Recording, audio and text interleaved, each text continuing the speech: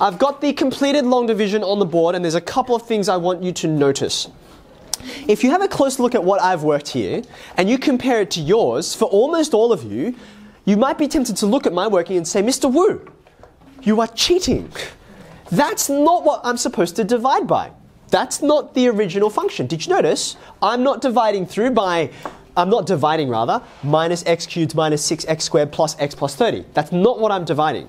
I'm dividing something else. I'm dividing exactly the opposite of that. You might say that's not fair. Like I had to deal with all these minus signs and they were gross and difficult, right? Well, I know that about myself that I often make you know mistakes. You know, doing um, when I'm dealing with all of these minus signs. There's so many minus signs. There's lots of you're subtracting minus signs. You're just kind of asking for it, right? Um, this is like like I often do a lot of travel, and so I know to pack the day before I need to go somewhere. Even if I am leaving in the evening, I'll still pack the night before because I know what happens to my stupid brain when I pack on the day I have to leave. I always forget something every time, right? So part of being a sound mathematician is knowing methods that are error prone and knowing what to do, what strategy to take to avoid those error prone methods. Can you see on my first line of working what I did? What did I do? Yeah, yeah, that negative that's like causing problems for me, I just factored it out. Now it hasn't disappeared. I'm going to return to it later on, okay? But what I've done is taken it out of the running for when I'm actually doing the division, and there's just far less chance for me to make mistakes. Do you all agree with my quotient that I've ended up with and my remainder? Thumbs up? So, at this point, this is actually the hardest part of it. I can now use this division to say y is not just equal to that thing that we started with, but minus sign out the front, because that's what I did on my first line. And now I can write the factorization that I came up with from my divisor and my quotient. So here they go, x plus 3, x squared plus 3x minus 10. Who's already factorized the quadratic? Yeah, go ahead, Uh, It's x, x plus three, uh, x minus two, and x plus four. Do I have some agreement from everyone? That's very Yep, nice. thumbs up. Good job. Very happy, okay. We've got Strange's approval, so we know we're in a good spot. Okay, great. Now, you might notice at this point we have something very similar to what we had before. It's all nice and neatly factorized, so I can read off immediately what the three roots that I'm expecting are. Can anyone tell me what they are? Yeah, negative 3, Negative negative 5, and 2. Okay, so so I've got all the roots, but the one difference between this guy and the other one, apart from the values, is there's that negative out the front. Now, do you remember we looked at these two, which are kind of our stereotypical cubic graphs? Not every graph looks exactly like these, but the vast majority. This minus sign at the front, which one am I now dealing with? It's the it's this guy, right? Sorry, I had to draw them and re- redo them, and that's why they're in reverse order. I know it's the bottom one because when you start putting in some huge values into this, right, like x equals 100 or x equals 1000, you get really big numbers and then a minus sign hanging out the front. So you get like negative a million, negative a billion. You are dropping off the bottom of this cliff, right? So that's why you know it's going to be this one. And from here, all that needs to be done is to pop everything onto a Cartesian plane. So I didn't draw enough of the left-hand side. I'm going to fix that. That's better. So I'm going to go one, two, three, four, five, and then one, two.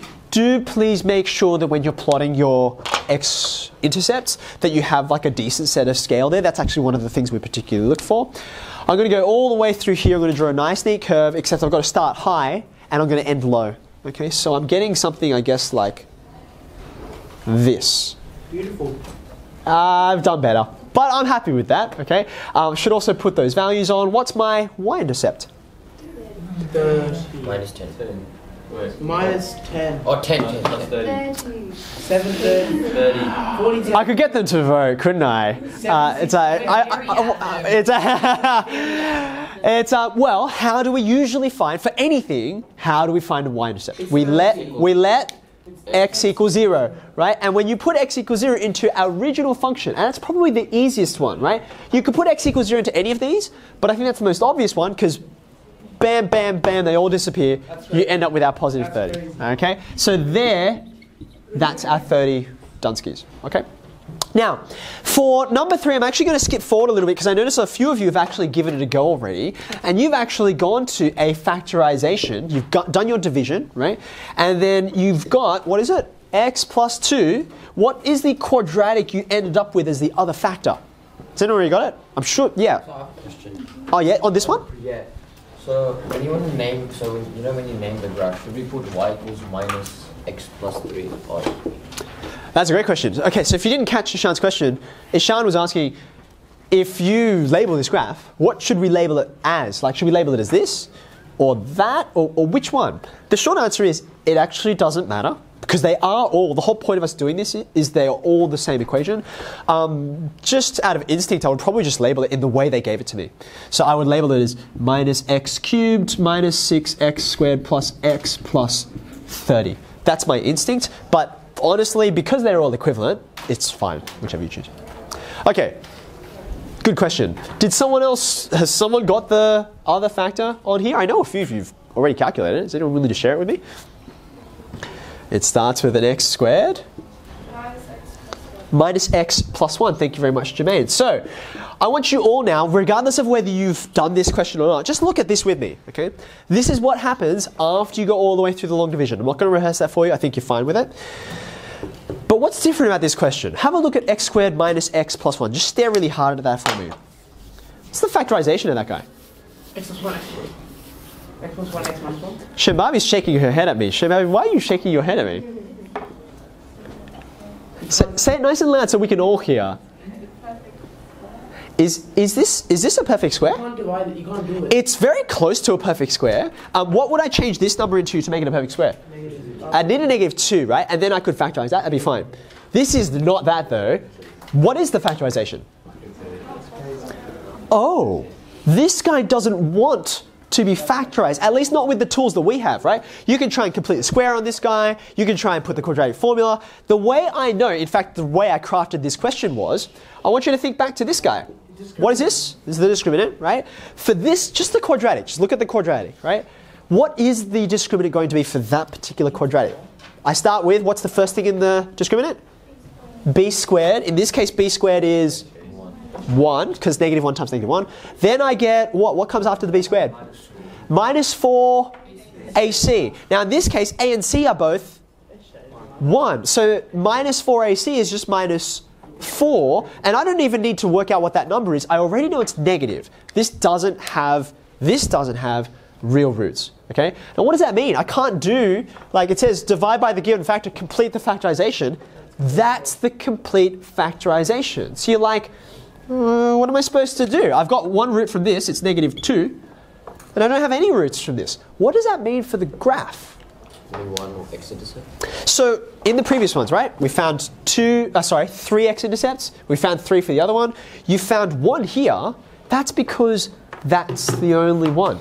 There's only a single x-intercept. Okay. So I invite you now, if you haven't already, draw yourself up that third set of axes, please. You can do this with me together. Third set of axes, please.